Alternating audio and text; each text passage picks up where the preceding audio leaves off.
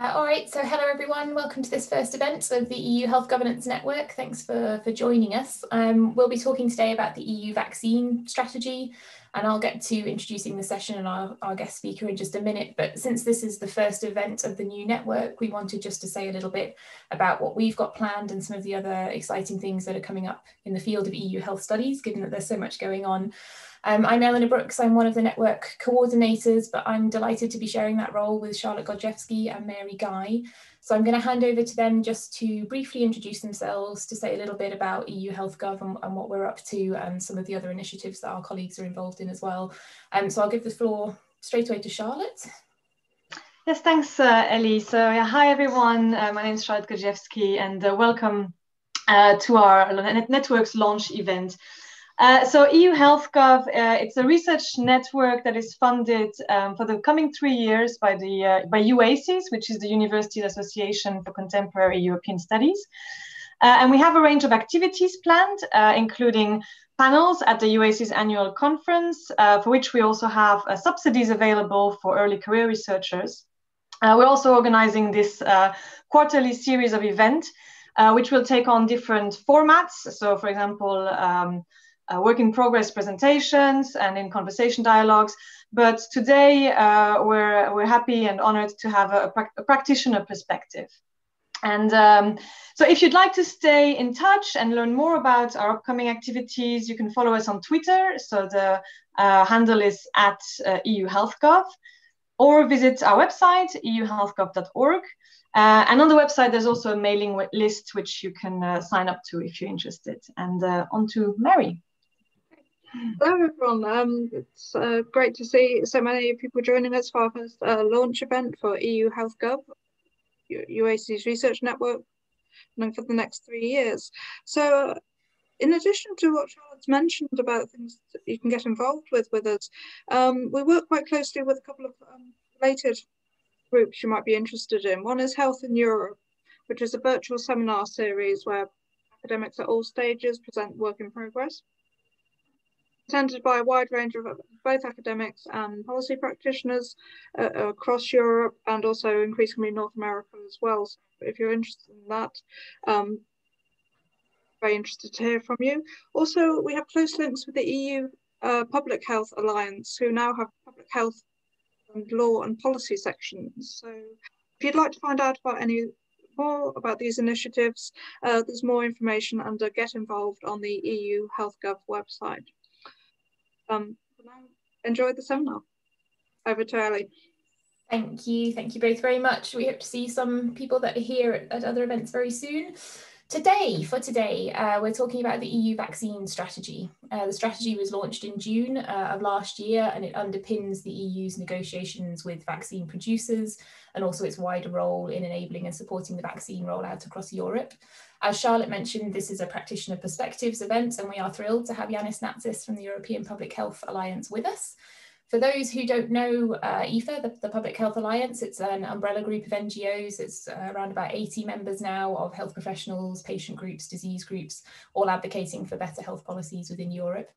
Yannis leads EPHA's work on uh, universal access and affordable medicines. Uh, Yannis is a member of the European Medicines Agency's Management Board, also the board of the European Health Forum Gastein, and a founding member of the European Alliance for Responsible R&D uh, and Affordable Medicines. Uh, so very well placed to discuss the current state of EU vaccine policy with us. Um, thanks, Yannis, for, for joining us and welcome. It's nice to see you. Thank you for having me, and thank you for fostering this discussion at this stage. I would say it's quite timely, and it's good that we're having this discussion now in late May 2021 rather than, let's say, in January or February when, when this issue was dominating the headlines in a rather sensational uh, way. It's better now that the situation, that the dust is settling a bit, and it is it's still early to draw some conclusions, but I think it is timely to have uh, a first overview, what lessons can we learn, and of course, how the experience of last year um, continuing until this spring, I would say how it feeds into um, and shaping uh, future uh, developments in, in medicines policies in the EU. Mm, good. Yes, I absolutely agree with, with uh, the timing is fortuitous.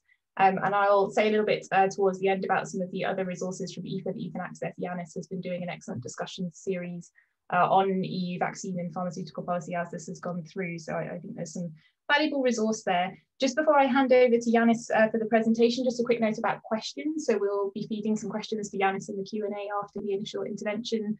The chat box is opening. Mary and Charlotte are keeping an eye on things for us. Um, so feel free to type your questions in there and I can read them out, or you can make a note that you'd like to have the floor and I'll, I'll come to people as and when we're ready. You can also join the discussion on Twitter. Um, the hashtag is EUHG vaccines or EU Health Gov vaccines. Um, so do log on and, and carry on discussions there. Um, but with that, I will hand over to Yannis for as long as you need, Yannis, and uh, and then we'll start some Q&A. Thank you. Thank you, Eileen. Thank you for having me. Congrats on this new initiative. Uh, happy to support it in any and every way we can, also in the future. Um, for the EU vaccine strategy, uh, let's let's go back a bit in time. Um, we are back in last uh, May, uh, where there's for the first time there are already discussions happening on the other side of the Atlantic around the vaccines. Of course, the whole world is talking about vaccines. In Brussels, we have the Commission President um, launching her online pledging conferences, uh, promising that the vaccines will be, if we get to a point where we have multiple vaccines, the, the those will be um, public, global public goods. Uh, we have a lot of discussions uh, from the um, White House under the Trump administration at the time that, of course, the America is going to be served first. And then in late May, early June, four governments in Europe, Germany, France, Netherlands, and Italy, announced that they've um, forged an alliance called the Inclusive Vaccine Alliance, IVA. And a few days later, they announced that they already have signed a contract. The first contract with AstraZeneca, the contract that we've heard so much about, and it's still dominating the news to this day. So the IVA, composed of these four very important and interesting uh, constellation, I would say, of member states, um, signed the first contract with AstraZeneca, a big contract. Uh, at the time, it was 300 million doses uh, with an option to buy 100 million more. Um, and of course, with companies including AstraZeneca, and actually AstraZeneca was the first one to say that we're not going to make any money, we're not going to make any profit, um, and it will come at a very, very low, uh, um, affordable, cheap uh, price. Uh, the pharmaceutical industries um, via their trade associations. They organized at the same time uh, around, I think it was already in April last year, um, uh, virtual uh, online press conferences saying that they will not make profit out of these vaccines. So we are in early June. The IVA, the Inclusive Vaccine Alliance, Germany, France, Netherlands, Italy, they say we sign a contract with AstraZeneca. The contract is not just for us, it's also for EU, uh, the rest of the EU member states. A few days later, literally a few days later, the European Commission comes out with its own joint procurement initiative, which is what Ellie called the EU vaccine strategy.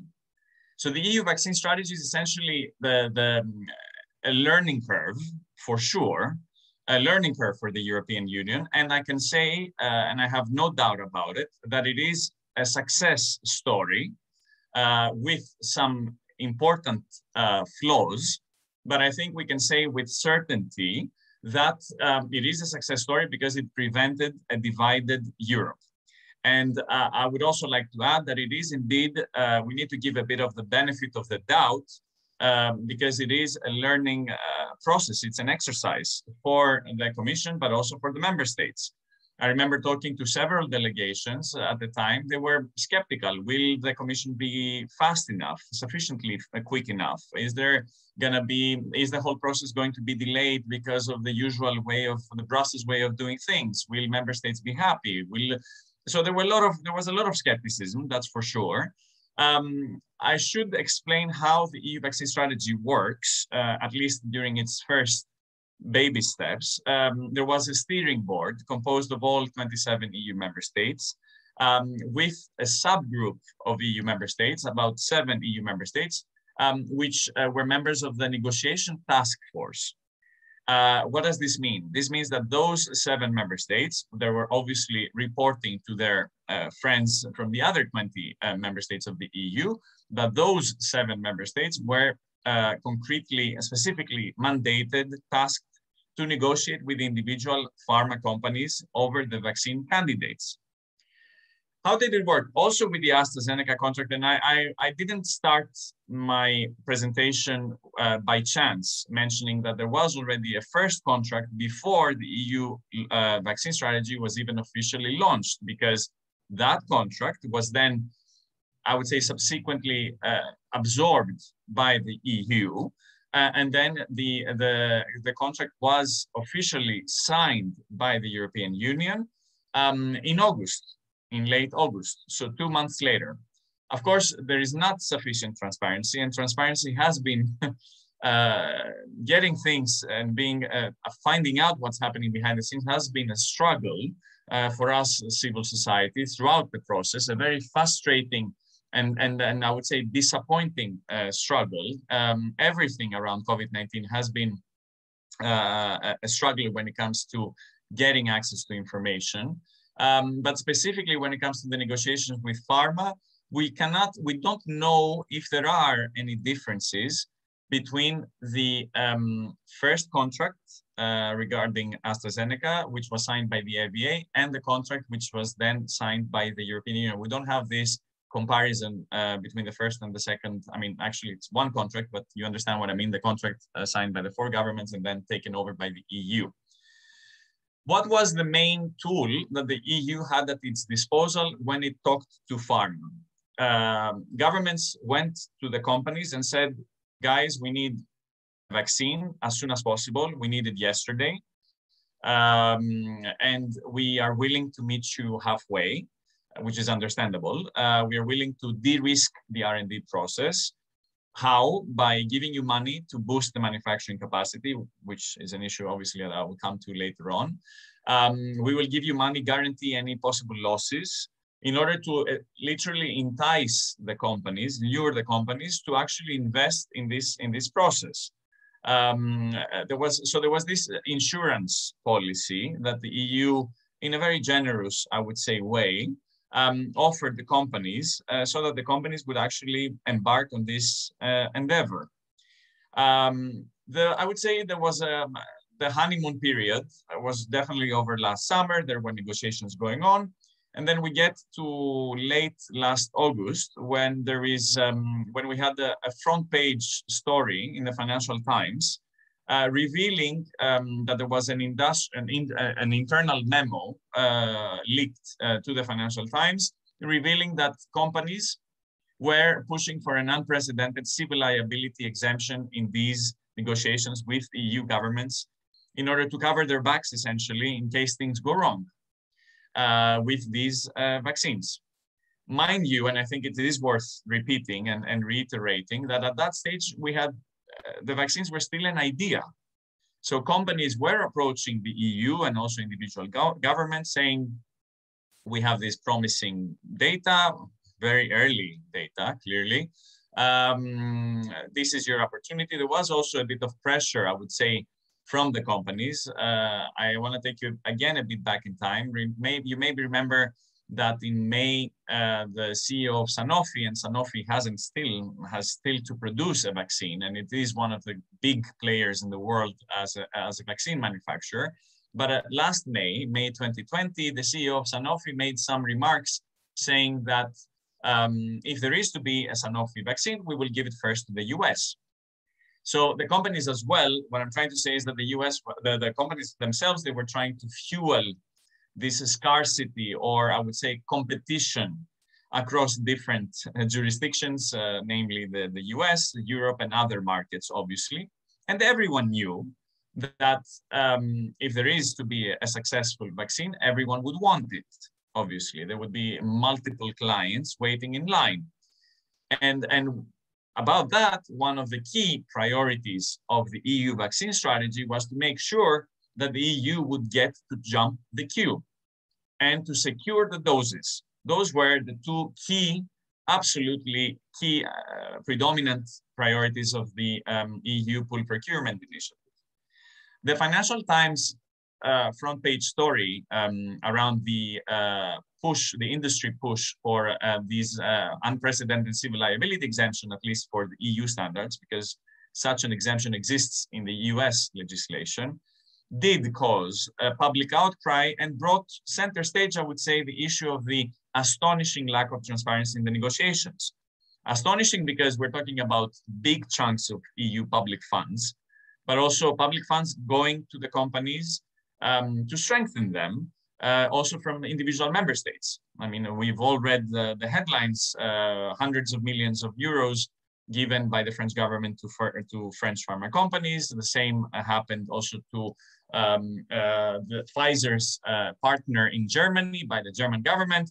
Uh, so there was a multi-layered, astonishing lack of transparency uh, as to the negotiations, as to the terms and conditions of the contracts, um, because these contracts, for instance, the liability issue is not, uh, it's a public health issue at the end of the day. It's a patient safety issue. And, and what we, civil society, um, we're trying to remind policymakers is that you cannot simply expect that there will be no questions asked when a few individuals behind closed doors, even if they have the best intentions in the world and they are mandated by their governments, obviously, right? Because they were member states' uh, governments um, negotiating the contracts, you cannot expect that people are not going to have questions as to these contracts. And of course, what we kept saying, uh, EPHA, along with a broad coalition of organizations, was you need to be proactively transparent to guarantee the trust in the vaccines, which for me is a key priority, where you don't want to fuel vaccine hesitancy. You want to make sure that if you get to the point where you have vaccines, people will be willing to take them. And of course, you know, one year later, all of these these issues are um, daily on the news, of course. Um, but what we were saying back then is that you need to guarantee that there is, you need to be proactively transparent. And if you are practically transparent, this is the only way to guarantee that there is an overall trust in the public management of the crisis. Um, uh, and, and to safeguard, as I said, uh, vaccine confidence, patient safety, and overall public health, obviously. And don't get me wrong, there is no, the, the, the demands coming from the government side were quite strong. Governments were pushing the companies to deliver so governments had to meet companies halfway. The question was not to give them a blank check. And what do I mean by a blank check? I mean that the industry, and, and I've known from my experience working on these topics, the industry is the industries rather plural, not to give the impression that the industry as a whole acts as one because it's a pretty diverse business sector, obviously. But the industry is using the pandemic and has been using the pandemic. And obviously the fact that governments are heavily dependent on uh, big pharma at this stage for the obvious reasons. The industry normally and, uh, and logically speaking is trying to create precedents, is trying, is trying to revive agendas uh, that were not successfully uh, endorsed uh, in the past. We see now that there is, and I think Ellie will come to these points uh, later on. Um, in my view, we see a, a, a risky conflation of, of uh, public health policies with industrial policies, and that's that's something which, in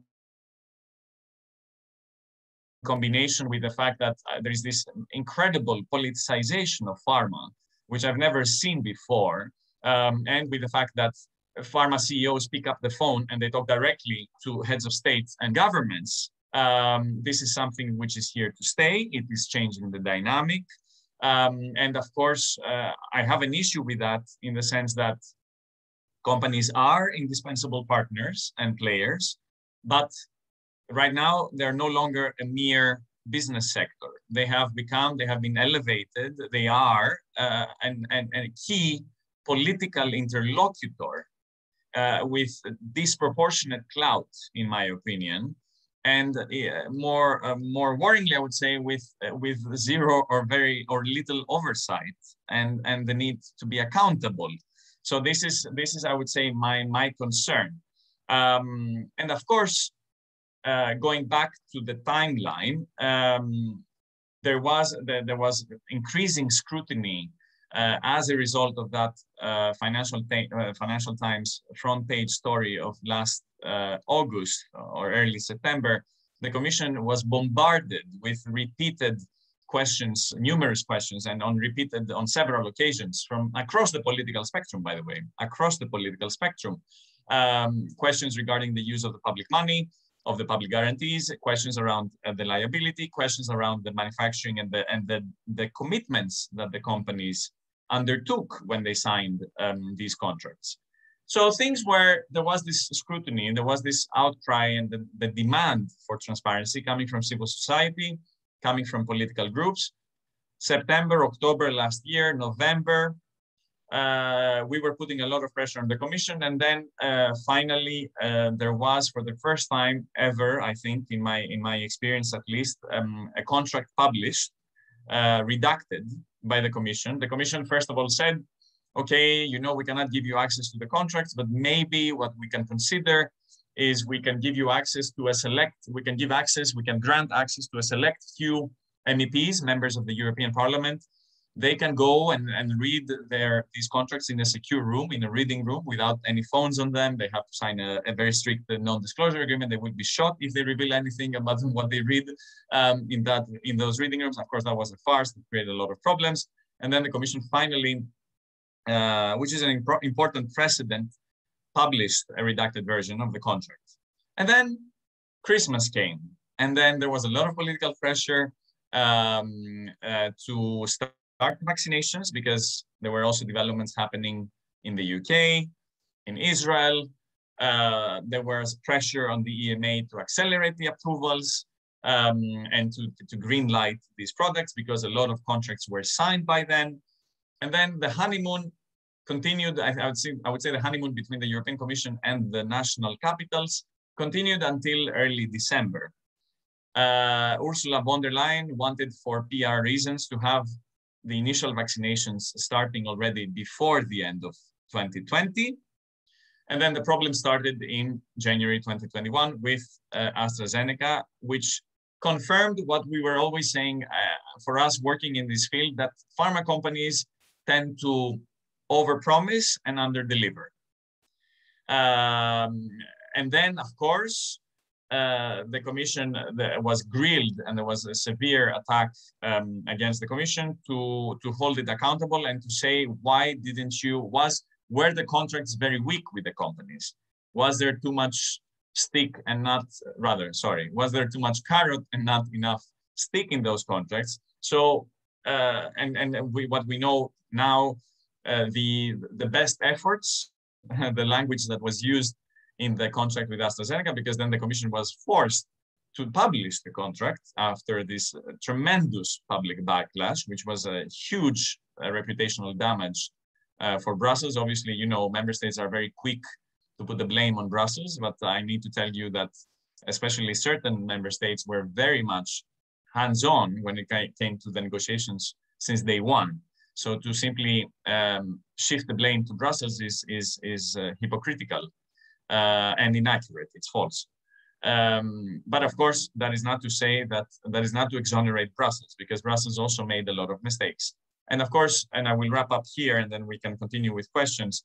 Um, we've seen, of course, AstraZeneca uh, dominated the headlines, but there have been other issues as well um, with other contracts. So even these days, we see that uh, J&J uh, is unable to deliver uh, what they uh, promised and there, of course, there is a discussion, and I think we need to have this proper assessment of what went well and what went wrong.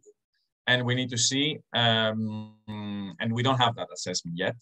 Uh, and we need to learn from this process and not simply, you know, bash it or, or dismiss it, because I repeat, for me, it is a success story. Uh, look at where we are now. And I think we're going to be flooded with doses, especially by the fall. Um, and this is ongoing. Ellie, I'll stop here and then hand over to you to have some questions. Thank you.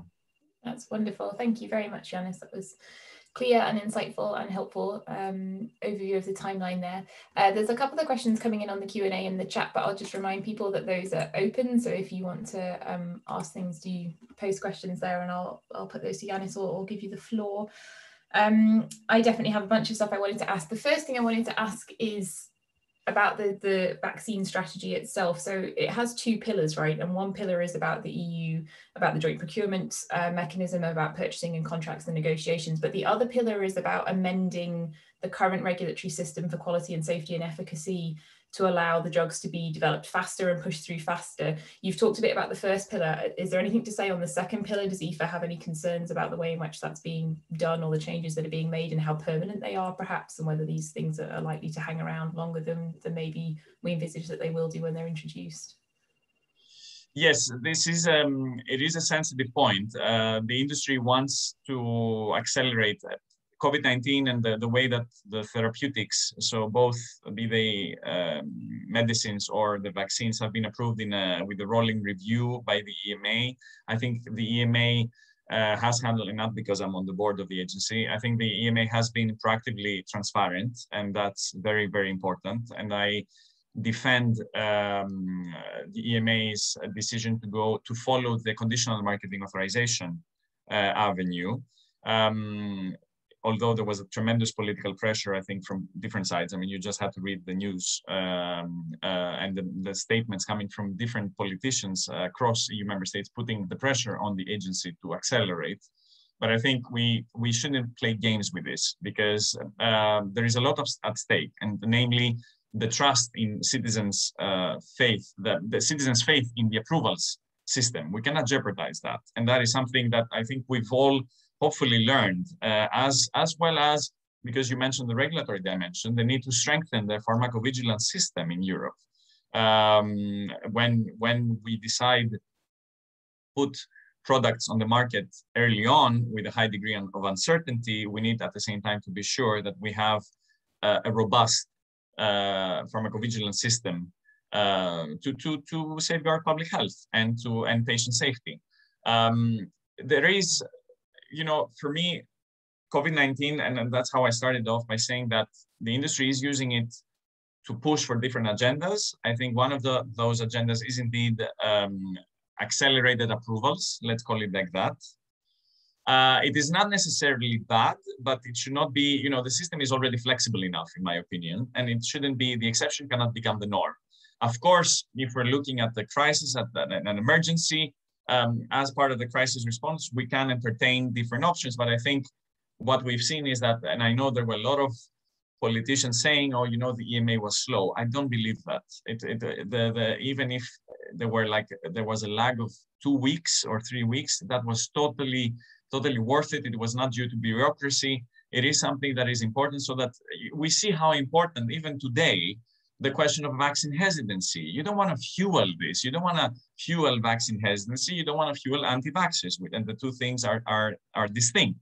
But we need to be very careful with this. We cannot change things just overnight under the pressure of, of, of, the, of the circumstances. I think that's I think that's exactly right. I guess so. Do you see a risk I'm thinking because the joint procurement, the, the system by which we're now collectively purchasing medicines that we've used for the vaccines, it's new per se, but it builds on existing mechanisms that we had before, right? That, that were starting to come to fruition. Equally, in the in the other pillar, this push for sort of accelerated um, approval and, and expedited processes, the industry was already pushing for that before as well, right? We had a, a, series of measures. So I guess what I'm what I'm asking is, given that these things aren't new to COVID, they are things that were in train before and agendas that existed before what is the risk of us bringing them into place in response to COVID and then them staying of a sort of institutional stickiness where once we've set the precedent and we put these measures in place and these mechanisms in place, they then just end up residing well the, the risk is very clear lowering lowering the bar for approving medicines in general. So um, beyond vaccines right? Because vaccines is a special deal.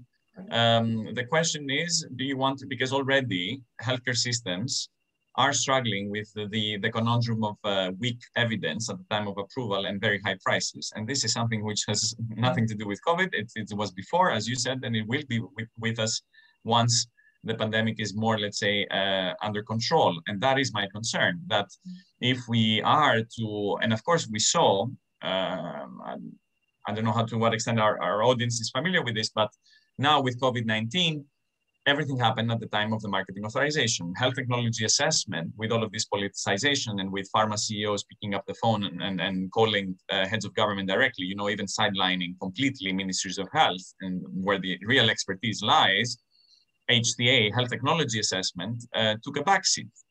That should not be the norm. That should not be the norm. The question is, how do you uh, uh I'm not saying not modernize the regulatory system if, if there is a need to do so, obviously. But as you said, I've seen and I've been in this field long enough to remember uh, very concrete um, industry pushes to loosen up the criteria and to move the goalposts and in order in the definition of innovation. And, um, and I think those agendas are currently revived.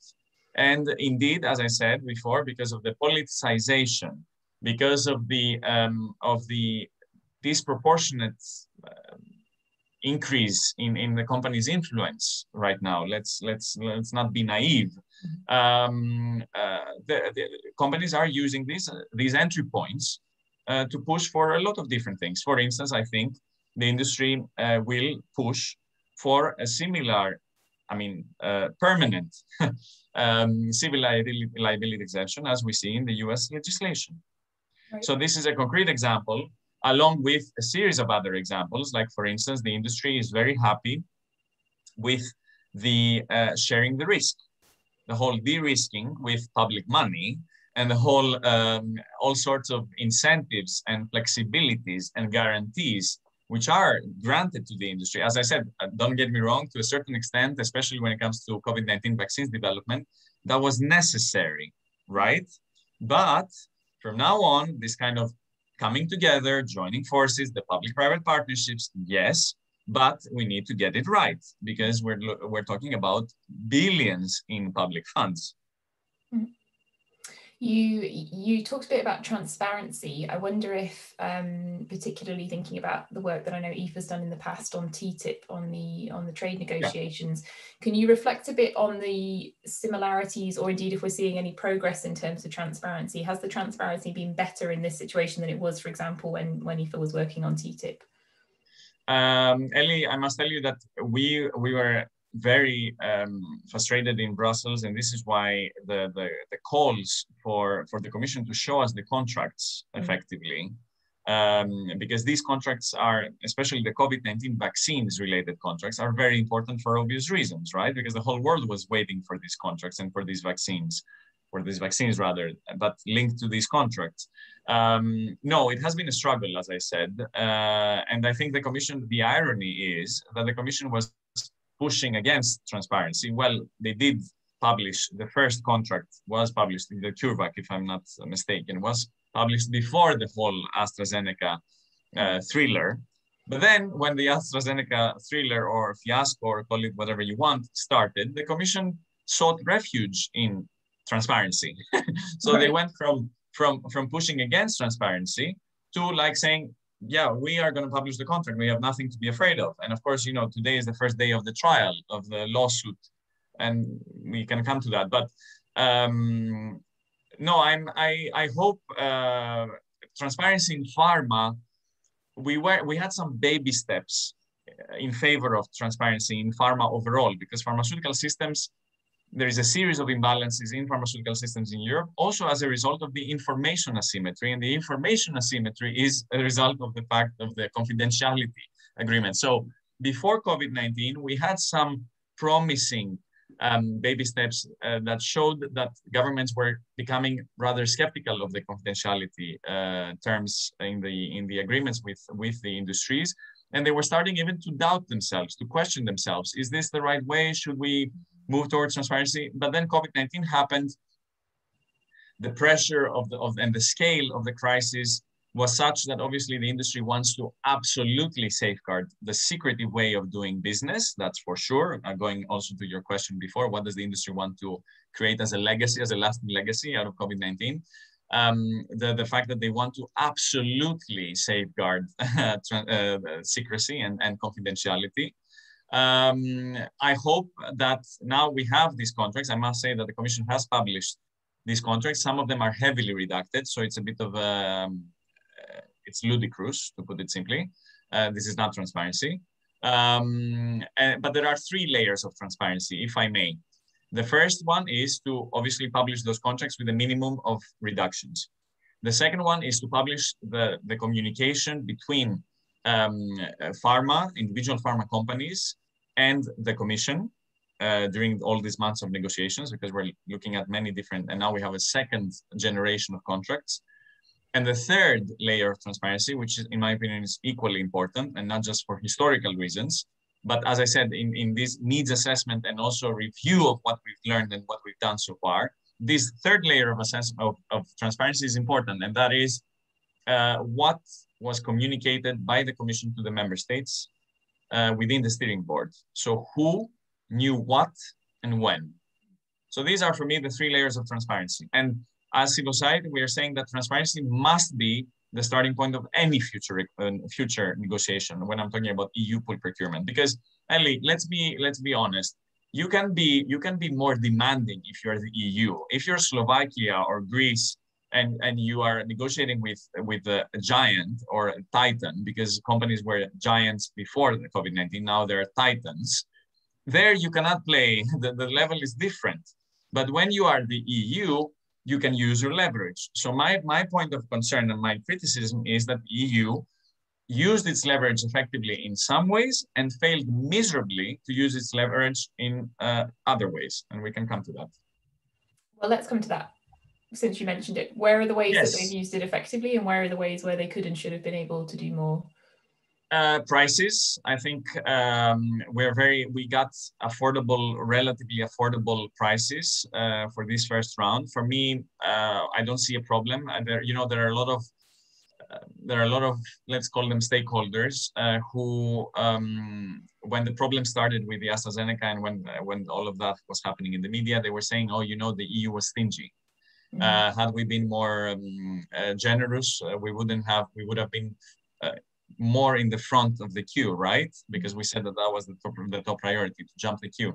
Uh, I disagree with that. I disagree with that, especially because AstraZeneca was very affordable from the beginning. The contract, the um, so that even if we had paid like two or three euros more, it wouldn't have it would have made zero um, difference. Um, and also, I have a serious problem with this kind of narrative because this is the kind of narrative that paves for excessive prices more broadly in medicines. And it, it fuels and it nourishes this, this discourse that says, oh, you know, what is the value? We should have, we could have paid 5 billion more or 3 billion more or 10 billion more because the value, what is the, that is the value of, of keeping the economy open. You know, if you go down that path, then the next vaccines that will come our way will have even higher prices. And then you can also price the midwife as, as an extremely, you know, uh, expensive uh, service. So that for me, it really uh, justifies um, uh, the, the excessive prices that we saw in medicines more broadly before COVID-19. And it uh, exonerates the industry and practically it distracts us from the industry's responsibilities. Um, and to the second point of your question, so I think on prices we did well, uh, and rightly so, it has been a priority. Um, the um, where the EU could have used this leverage is very simply uh, on the question of manufacturing. Let's go back to last summer. The industry is talking to companies, sorry, the, the, the companies are talking to governments nonstop on all layers of power. In Brussels, on the national level, there, there are numerous channels of communication. So, as I said, and this is why we need, we need to shed light into what happened in those negotiations because we don't know. What was the industry telling the governments, the negotiators back then? don't worry, are we gonna, we're gonna be fine with manufacturing. We've taken care of it. Where was that what they were saying to the governments? Because as I said uh, earlier, everyone knew. I mean, you and I, we understand it's common, it's common sense. Everyone knew that when the product, if we were to get to a product, and by by early fall we were pretty confident that we're going to get to some to multiple successful uh, vaccines. Everyone knew that everyone would want those vaccines. So at least in those contracts, you should have had more teeth in those contracts to make sure that you would be in, indeed, because that was your, your objective as the EU, that you would indeed be in the front of the queue. Mm. And, and that AstraZeneca, I'm taking a, an example, would have said, you know, I put aside this percentage of my uh, production for the EU. So that was very, those, the contracts were very vague and they are very vague when it comes to the commitments that the companies were undertaking. So there, uh, the EU could have been and should have been more, uh, could have been stricter and should have been stricter when it comes to the manufacturing or forcing companies to um, share their technology or forcing companies to work together. So the, the, the, whole contract manufacturing, which started only in February and March, and the matchmaking, you know, that one company is going to produce the vaccine of the other company in order to scale up uh, manufacturing, everyone knew that this would be a problem. And this is why the EU uh, used the down payments of about 3 billion on top of national subsidies that we have no clue how much money went into those subsidies. But let's talk about the EU funds almost 3 billion went in down payments to boost the manufacturing capacity because everyone knew that that would be an issue. So, so that is something where, yeah, go ahead. I'm just to, to clarify. So are you saying that this issue with, because a lot of it we know came down to a lack of production capacity, right? And I agree with you that in a way that's why the prices narrative is annoying because it suggests that the money was the only factor. And actually, what we know is that we didn't used to make vaccines in this kind of quantities, and it was always going to be impossible to scale up in the way that we needed to in such a short space Correct. of time. But is the point that you're making that if we had restructured the contracts, we could have done that in a way where companies worked together and shared yes. um, information and technologies to a, to a point where we could actually have scaled up production or or, or to have to have less less scarcity maybe perhaps okay. it's true we wouldn't have avoided the scarcity or we wouldn't also to be very honest with you I think the scarcity especially in the months of January February possibly even March was artificial in a way partially artificial um, and that's, uh, I'm not being cynical, it's just a, a, typical business strategy of companies. You know, you want to fuel uh, the demand. um, and, um, but that, of course, we will never know. The, the, what I am simply saying is that six months earlier, so as I said, last summer, last October, November, uh, we could have inserted provisions in the contracts where um, the companies would have felt more the pressure to deliver or to be more realistic or simply not lie as i said not overpromise and underdeliver. Because you know i interviewed um, clemens auer um, of austria who is uh, who used to be until recently the the co-chair of the eu steering board. So he has uh, key insights into the negotiations. And he he said um, that you know we knew that there would be scarcity. We we expected that there would be uh, scarcity um, but we also know that some companies uh, lied to us effectively, some others didn't. So I don't want to generalize, right? Because there are companies who seem to have delivered more or they, they, they seem to have been more realistic as to. But of course, now my concern is that from the public's side, the negotiators should have been aware. I understand that they were, lot, they were under a lot of pressure coming from a lot of different sides, and we need to be aware of that. But uh, those negotiating these kind of contracts should have known that uh, the or should have seen the scarcity coming and if they had seen the scarcity coming then they should have also told the politicians because the politicians but also the negotiators were kind of hyping the expectations i remember there were a lot of public events in september and october saying oh you know we just need a few more weeks the all of the signatures will be done uh, all the contracts will be signed uh, and then um, we just need the green light from the EMA, and then we will have all these doses. But that was false. Mm. That was only part of the story. That was only part of the truth. And we saw that. Um, and at the same time, there was also the problem of the export bans and restrictions. And that's why I think it was clear on the negotiators' minds that they wanted the, most of these vaccines to be produced on European soil because everyone knew that there would be bans coming, for instance, imposed in the US, and there wouldn't be vaccines leaving the US because that's we know this is how the Operation Warp Speed, and this is how in general uh, there is, you know, the U.S. Uh, launch first uh, policy in medicines in general. Right, right. I want to talk to you about the European soil point, but I will be hogging the Q&A, so I'm going to just take a question or two from the audience. So there's one in the Q&A that's uh, from Sabrina Liu, and it says, could you assess the role of the EU in health diplomacy globally? And by this we mean vis-a-vis -vis other players such as the WHO or the US or other relevant international actors.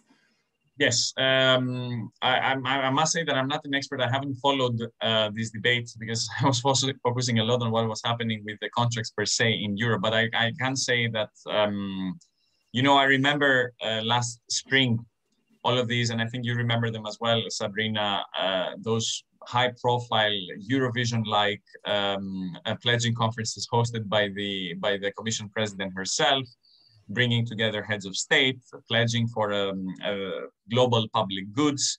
Um, that was hypocritical that was hypocritical because at the same time, um, I, I, know because I was talking to the people who were in uh, doing those negotiations, the absolute priority was to make sure that we have the doses secured for uh, Europeans.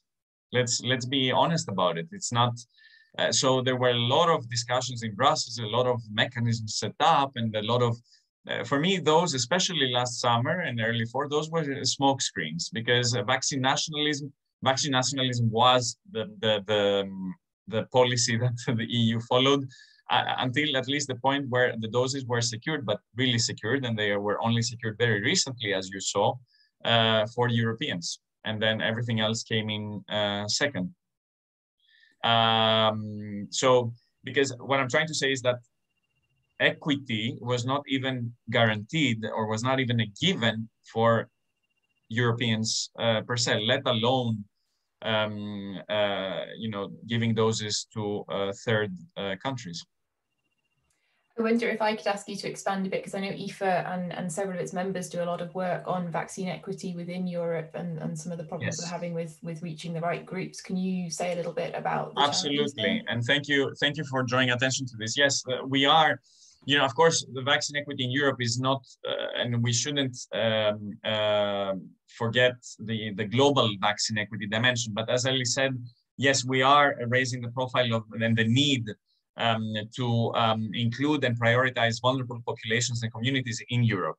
Uh, and of course, you know, national vaccination plans, national vaccination plans have largely being dependent on companies' uh, business plans. Let's be honest, because um, I've been talking to a lot of uh, people involved in designing the national campaigns, the vaccination campaigns, and they were like, well, you know, we're hesitant. We don't want to vaccinate a lot of people. And that was like a couple of months ago, just a month, a month and a half ago. They were like, we don't want to hesitate. We, we're hesitating to to vaccinate um, a lot of people because we're not sure we will have the second dose when the time comes for these people who already got the first dose. So that is quite, I think it's quite telling uh, of, of, of uh, how, of the, of the problems with the contracts. Uh, that brings us to the previous discussion. So uh, the question of vaccine equity, absolutely. And it is the time, you know, also to strengthen the, the role of the ECDC uh, in Brussels, there are ongoing negotiations uh, in the package of the European Health Union, uh, which was put forward by the Commission to uh, expand the, date, the mandate of the EMA and to strengthen the mandate of the ECDC to make sure that we monitor equity, we, to make sure that we develop the right indicators to assess and to measure equity in Europe when it comes to vulnerable populations, because right now we have no clue, uh, no clue whatsoever if you know, we have vaccinated the refugees, the migrants, the homeless, no clue. And especially now uh, uh, uh, with summer approaching, um, the, the, top priority is simply to vaccinate anyone and everyone in kind of a, a random way. Uh, but then, of course, that creates problems because um, you don't address vaccine hesitancy in that these hard to reach uh, populations and many, many other topics. So indeed, uh, within EPHA, with our members, but also partners, we sent a letter to three commissioners asking, you know, outlining concrete actions um, and more to follow on this because I think it is important. It is an opportunity, if you want. It is an opportunity to address through the COVID-19 vaccination to address long-standing health inequalities, and and and you know that's that's where I, I have a bit of hope.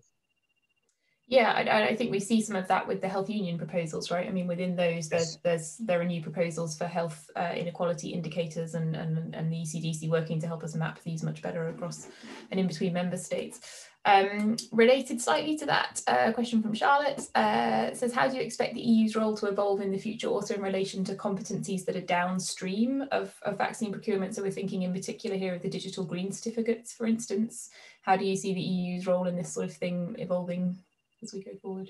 Two points. Uh, first, on I think the EU, uh, and I'm I'm happy with it. There is a prospect, there is a potential for uh, uh Brussels-driven uh, joint procurement uh, for medicines in general. I think this is you know, we, we as civil society we've always fav favored member states coming together, joining forces. Um, and we've seen that in light of the excessive prices for some medicines, member states realized only in the very recent past, over the past five years only, so very recently, that they can no longer afford not to work together. So now they are working together. I, I will mention Beneluxa, which is kind of a household name, if, if I may describe it this way. The Valletta Declaration, different groups of countries coming together in an intergovernmental, regional way, uh, realizing you know that they need to address the um, information asymmetry and the power imbalance with the companies by simply uh, organizing themselves better and exchanging information. Companies, as I said, they love the divide and conquer strategy. This is the, the strategy they've always used. So um, the response to the divide and conquer strategy is to join forces uh, and exchange information. It doesn't matter in the end if they will buy products together or not, as long as there is a, a, shared baseline of information so that companies know that they cannot fool, they cannot deceive the governments, to put it very simply. The second point, the digital green certificate you know, I have a bit of an issue with these um, flashy initiatives, very flashy. You know, we are trying to rescue the summer, and you know, everyone wants to be uh, seen to be acting. I have a, bit of an issue how this will be used in the future. Of course, I have an issue because uh, not everyone is vaccinated. There are a lot of I don't want to create um, double or three tiers of uh, society, but unfortunately, you know, these issues now seem to be uh, not so high on the priority list because uh, it's all about being flashy and being uh, seen to be active. So the digital green certificate, uh, I think this is how it's used right now, and it's creating. There is the potential, there is the risk to discriminate. Uh, and going back to discussion around vaccine equity, as long as you don't have vaccine equity guaranteed, I, I don't want to mention because for me, I don't want to mention the global vaccine equity because the EU hasn't been um, proactive uh, in, in uh, it has been all about vaccine nationalism and regionalism. So as if that was not enough, now they also come and they tell you that if you don't have the digital green certificate, you cannot move around. So it's kind of a consolidation of this discrimination, which was which started already last year. Uh, so I have a lot of issues both uh, with this, both globally, but also within the EU itself. That makes a lot of sense. Um, I just we have a few minutes left, so I'll take any final questions if anybody wants to pop them in the chat. But I also wanted to to um, ask you, Yannis, about where you see this going forward. So you've described it as best practice and a success story. I saw Clemens Auer in your discussion with him described the, the, the steps that have been taken and the mechanisms that have been put in place as an example of best practice. Do you see potential for this to go beyond? And by this, I mean, I, I suppose the degree of European cooperation we've seen and, and solidarity is a big word, but but I think it's, it's it's probably okay to use it in this context. Do you see us being able to extend that into areas like, for instance, AMR, antimicrobial resistance, or any of the other huge health challenges that, that the EU is taking on and the EPHA is monitoring? Does this give on, us hope for other areas of health? I suppose is what I'm in. On the bright side, on the bright side, I think the whole affordability debate, because since day one of COVID-19, affordability was totally mainstreamed. Uh, mm. there was an expectation that these products are going to be affordable. So I'm happy about that. And I think that is something that will stay. Um, on the bright side, again, uh, the question of equitable access within Europe. As I said, the EU vaccine strategy prevented a divided Europe. It's fantastic that all Europeans um, have access to these products at the same time. So the question of the availability is very important. It's something that we need to see. I would love to see in other areas, including orphan drugs uh, for rare diseases. So the question of availability and affordability is something where I think we this will this is here to stay. The question of joining forces, be it on the regional level, intergovernmental level, or EU even pool procurement for certain clusters, because obviously you, you don't want to buy everything together. There's no point. You you want to um, if there is healthy competition in some therapeutic area, you don't need to uh, uh, buy together on the question of um, the question, you're right in saying um, we see with COVID-19 the use of upfront payments. Uh, the EU vaccine strategy, the main tool was these down payments, these down payments, these advance payments that we gave to the companies in order to guarantee any losses, to give them flexibility, to de-risk the R&D process. The use of upfront payments, and because you mentioned antibiotic, uh, you mentioned AMR, um, the question of you know putting money public money in a jar in order to drive innovation and to empower the payers to become buyers, which is a big question and a big discussion, that is something where there is potential. I'm a bit optimistic. Um, but again, it's not a question of simply giving the industry more incentives. It's about aligning these incentives with rewards and making sure that there is a return on this public investment. So it's not, again, it's not about giving them a blank check. And it is about what I want to see and what I hope we will see in the next few years. As I said, do you want to develop new antibiotics? Put, uh, you know, how do we say it in English? Uh, put your mouth, no, your money where, your, mouth, mouth, is. is. Voila. Quite literally in this case, quite literally in this case, if governments want to steer innovation for once, rather than simply being on the passively waiting at the receiving end of whatever comes out of the pipeline, if you do want to be a buyer rather than a payer, and if you want to drive and steer the innovation in a, in a needs-driven way rather than you know the industry, the usual profit-driven manner, AMR and new antibiotics specifically, where I think the industry, everyone agrees that even the industry agrees that they have dropped the ball over the past 30 years, it is an area where we can see some progress especially with the discussions around HERA. Um, in Brussels, the setting up of an e, of a BARDA-like EU agency. We're in some big discussion.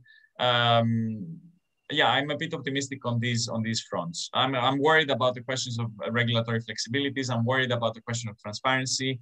Um, I'm worried about the politicization of pharma, and I'm worried for you know not being able to, as we see, you know, with big tech, pharma now is becoming too powerful and it's it's it's fine to have a healthy uh, industrial uh, sector but also public health policy is not the same as industrial policy do you that's interesting just to link to the last question i'm going to take one from the from the q&a um, from steve ballard about so the link bet between public health and industrial policy is one thing but steve's bringing up the point also of climate policy to some extent and environment policy, the odds of us ever being able to make this work and get everybody vaccinated and tackle infectious diseases more broadly, let alone just COVID, is so intertwined with the climate and the environment aspects as well. Do you see an intensification of the discussion of that link, or do you think we're still not successfully putting these things together? There is another nuance which is linked to COVID-19 more specifically, because there is a lot of discussion, especially now with the French presidency of the EU coming up,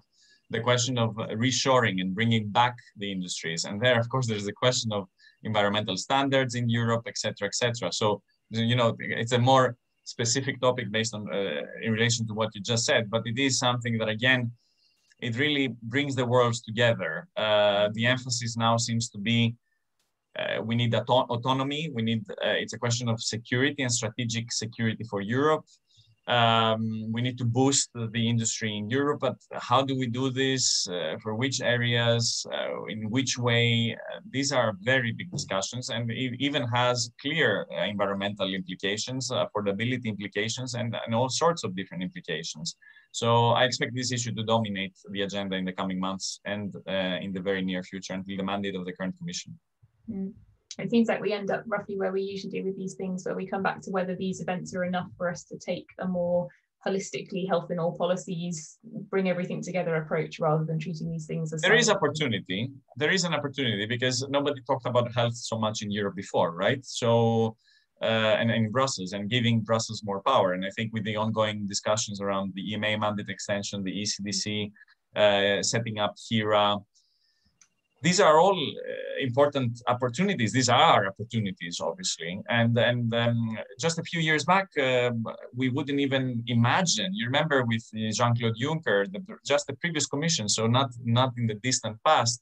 You know, it was uh, small on small things, and health was a small thing. And and then now, fast forward to two years later, in light of COVID-19, obviously, um, everyone's talking about health and and that but that it's a bit early to say where where this is going to take us oh, especially also because we're still in the eye of the storm. We are not out of it yet. Right right. Just before we started the webinar Yannis was uh, telling Charlotte and Mary about how busy he is because of all of the health related uh, stuff that's coming out of the, the European Commission and the European Union more generally. I think it's a really exciting time and reflected in us being able to set up the network and the other initiatives that Charlotte and Mary were describing that, you know, there's so much happening now on the policy side and on, on the academic and research side. It's, um, it's a good time to be doing what we do. Um, with that, we are pretty much bang on time, which isn't too bad going. Um, so I'll say thank you to everybody for coming and for posting your questions thank you sincerely to Yannis for joining us and, and sharing your knowledge and expertise. Um, you can follow the network as um, Charlotte mentioned on Twitter and visit the website for all the other stuff that's coming up and we hope to see you at, at other events very soon. All right. Thank you very much. Thanks everybody. Thank you. Thank you. Thanks.